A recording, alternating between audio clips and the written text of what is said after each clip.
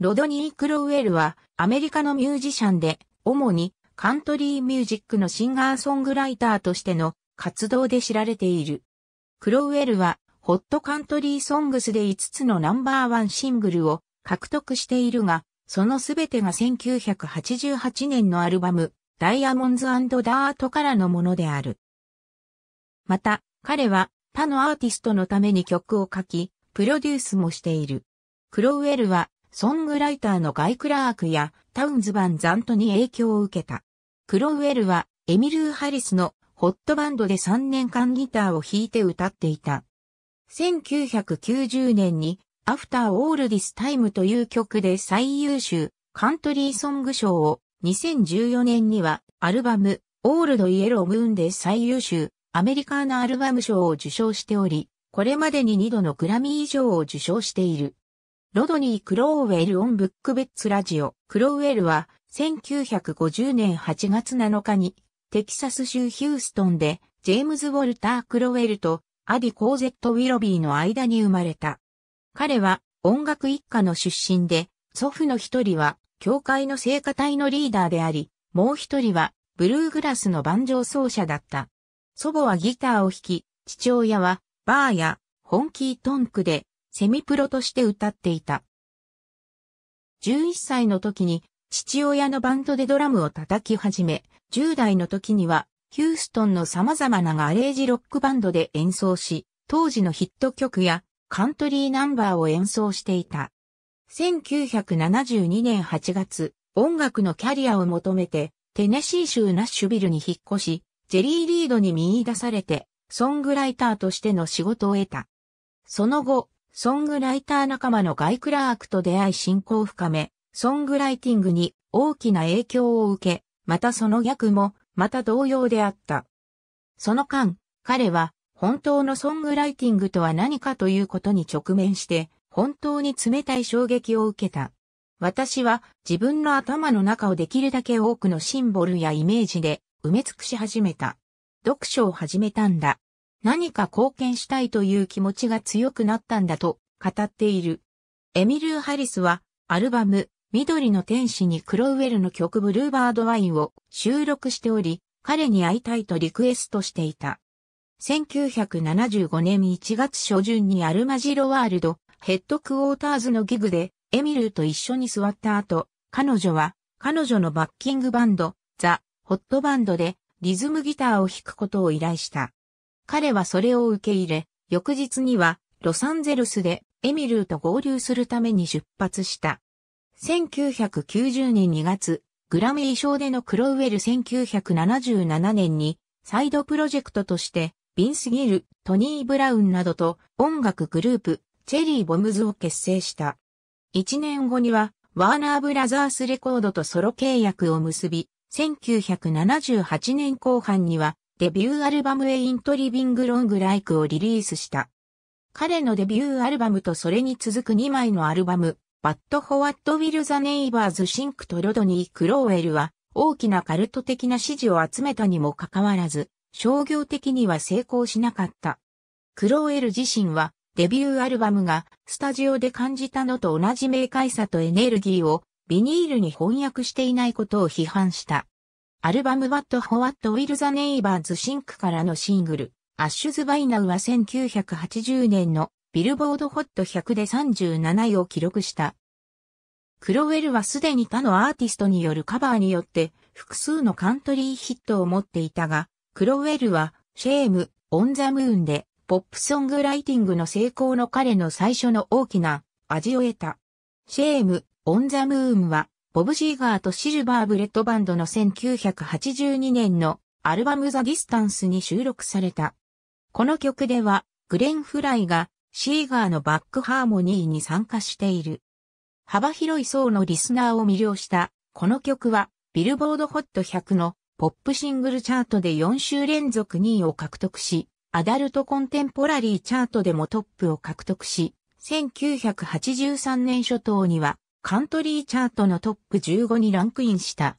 この曲の暗く、詩的で、催眠的なスタイルは、クロウェルのカルト的な地位を後押しした。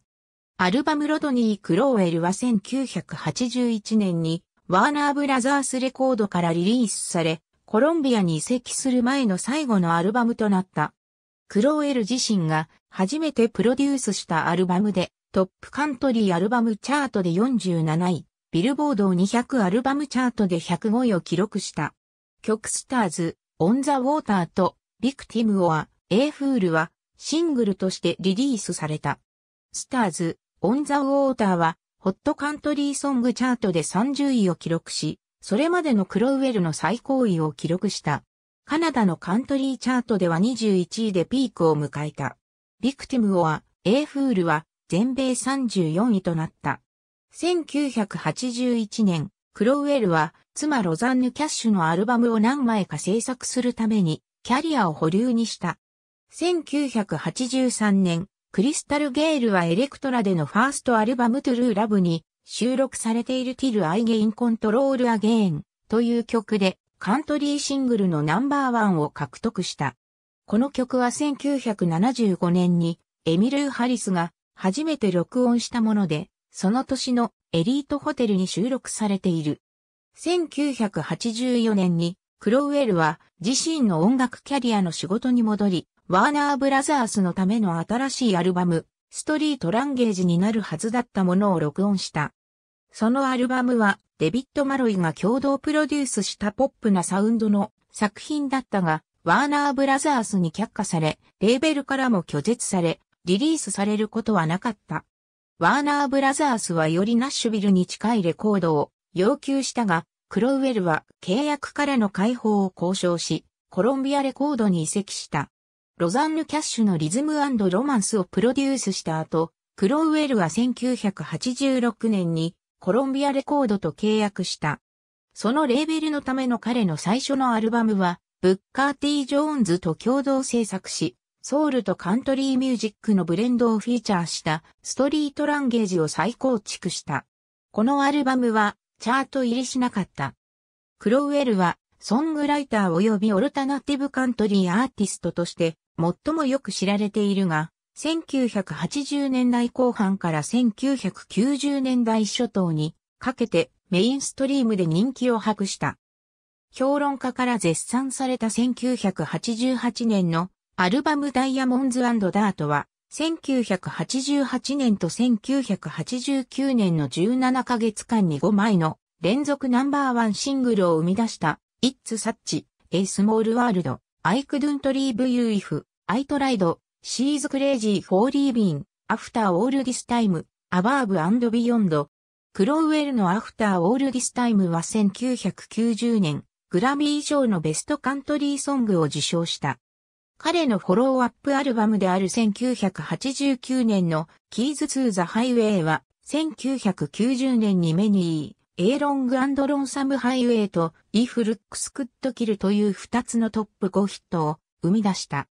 1992年の Life Is Messy の後、コロンビアレコードを脱退し、MCA レコードと契約し、さらに2枚のアルバム Let the Picture Paint Itself と Jewel of the South をリリースした。クロウェルは1990年代と2000年代も、ソングライターとしての成功を享受し続けた。この10年間にカントリーチャートでトップ10に到達したクロウェルの曲には、アラン・ジャクソンの Song for the Life、キース・アーバンの Making Memories of Us、リー・アン・ウォマックの Ashes by Now、ティム・マグローの Please Remember Me。2001年、レコーディングからの一時休止の後、クロウェルは1995年の Jewel of the South 以来の彼の最初のスタジオアルバムである The Houston Kid をシュガーヒルレコードからリリースした。このアルバムの多くの曲は半自伝的なもので、アルバムにはクロウェルが1998年に元義父、ジョニー・キャッシュとのデュエット曲、I Walk the Line を収録してシングルとしてリリースした。2003年には、 Fate's Right Hand を、2005年には、 The Outsider を発表しており、いずれも、ソニーミュージックの一部門であるコロンビア・ナッシュビルからリリースされている。主要な評論家や、クロウェルは、これら3枚のアルバムを、ソロアーティストとしての最高傑作と評価している。ロドニー・クロウェルは2003年に、ハルブレア、ポール・オーバーストリート、ジョン・プリンと共にナッシュビル・ソングライターズの殿堂入りを果たした。2004年、ビンス・ギル、トニー・ブラウンなど、1970年代のクロウェルのロードバンドの再結成による The Notorious Cherry Bombs がリリースされた。後のキース・アーバンのヒット曲、 Making Memories of Us はこのディスクに収録されている。2005年、クロウェルはアルバム Blue Sky Sunrise でアイルランドのシンガーソングライター、キーラン・ゴスのプロデューサーを務めた。2007年、ロドニー・クロウェルは Music City Walk of Fame に参加した。クロウェルはソニーミュージックとの関係を終了し、2008年にイエップロックレコーズから次のアルバム Sex Gasoline をリリースした。このアルバムはグラミー賞の最優秀コンテンポラリーフォークアメリカンアルバム賞にノミネートされた。クロウェルはミュージシャン兼神経学者のダニエル・レビティンの著書 The World in Six Songs でインタビューされた中で著名な人物であり、クロウェルの3曲、 Shame on the Moon、I Know Love Is All I Need, I Walk the Line が本に掲載されている。2009年にクロウェルは同年リリースされたワイノナジャットアのアルバムシング、チャプター1のタイトル曲を書いた。この曲にはいくつかのエレクトロニックダンスミュージックのリミックスが施され、アルバムからの2曲目のリリースとしてダンスラジオに送られた。このシングルは2009年8月に全米ビルボードホットダンスクラブソングチャートで4位を獲得した。クロウェルはシェリー・ライトの2009年のアルバムリフテッド・オフ・ザ・グラウンドをプロデュースした。ライトはまたクロウェルの2008年のシングルセックスガソリンのミュージックビデオにもカメオ出演している。ヴィンテージブックスは2011年にクロウェルの回顧録、チャイナベリーサイドワックスを出版した。チャイナベリーサイドワックスは、主にクロウェルの両親の結婚との関係や、テキサス州ヒューストンで育った彼自身の幼少期に焦点を当てている。2012年、バンガードレコードからロドニー・クロウェルとメアリー・カーによる金、ソングズがリリースされた。カーが作詞、クロウェルが作曲を担当した。金は、カーのソングライティングへの最初の試みだった。他にも、ノラ・ジョーンズ、ビンス・ギル、ルシンダ・ウィリアムズ、リーアン・ウォーマック、ロザンヌ・キャッシュ、クリス・クリストファーソン、エミルー・ハリスなど、様々なアーティストがアルバムに参加している。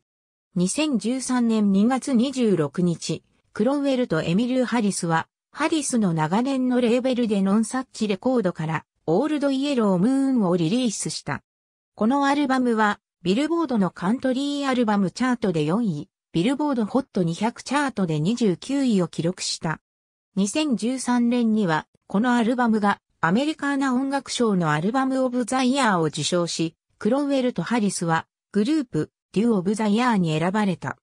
2014年1月26日、クロウェルは、オールドイエロームーンが、グラミー賞の最優秀、アメリカーナアルバム賞を受賞した際に、二度目のグラミー賞を受賞した2015年5月11日、クロウェルとハリスは、ノンサッチから The Traveling Kind をリリースした。クロウェルは2014年4月15日にニューウエストレコーズからの最初のアルバム Tarpaper Sky をリリースした。クロウェルはこのアルバムを長年の協力者であるスチュアート・スミスと共同プロデュースした。2014年秋、クロウェルはハンク・ウィリアムズの伝記映画、 I Saw the Light の音楽監督に採用された。2015年、クロウェルはジュエルのアルバム Picking Up the Pieces に収録されたジュエルとの共作曲 It Doesn't Hurt Right Now や2016年のチェリー・ライトのアルバム I Am the Rain に収録されているトラック Holy War でバックボーカルを提供している。2016年12月20日、クロウェルはロザンヌ・キャッシュとジョン・ポール・ホワイトのゲストボーカルに加え、ミッキー・ラファエルのハーモニカをフィーチャーした楽曲 It Ain't Over Yet のミュージックビデオを公開した。同曲は2017年にリリースされたアルバムクローズタイズに収録されている。同アルバムには I am Tide to Year と題したシェリル・クロートのデュエット曲も収録されている。2019年、クロウェルはソングライティングにおける功績が認められ、アカデミー・オブ・カントリー・ミュージックから詩人賞を受賞した。また、2019年8月16日にコラボレーションアルバムテキサスをリリースした。2019年6月25日、ニューヨークタイムズ紙は2008年のユニバーサル火災で素材が消失したと報じられた数百人のアーティストのうち、ロドニー・クロウェルをリストアップした。アメリカの音楽栄誉と賞、アカデミー・オブ・カントリー・ミュージック・アウォード・ ASCAP、カントリー・ミュージック・アウォード・カントリー・ミュージック協会賞、グラミー賞1975年にクロウェルは彼のナッシュビルのガールフレンドのマーサと結婚し、彼らの娘ハンナは1976年5月に生まれた。短期間の結婚は離婚で終わり、クロウェルはハンナの看護権を放置した。クロウェルはその後、1979年から1992年までロザンヌ・キャッシュと結婚し、彼らはその期間中にクロウェルが彼女のアルバムのほとんどを制作し、彼女の成功は彼の作詞作曲に影響を与えて、お互いのキャリアに影響を与えた。二人は1988年の It's Such a Small World を含む多くのデュエット曲でコラボレーションした。クロウェルとキャッシュは現在離婚しているが、彼らは友好的な条件のままで時折一緒に演奏している。クロウェルとキャッシュにはケイトリン、チェルシー、キャリーという3人の娘がいる。クロウェルは1998年にクラウディア・チャーチと結婚し、彼らは愛犬モノトナッシュビルの南に家を共有しているが、彼はまた、キム・リッチーとも結婚していた。ありがとうございます。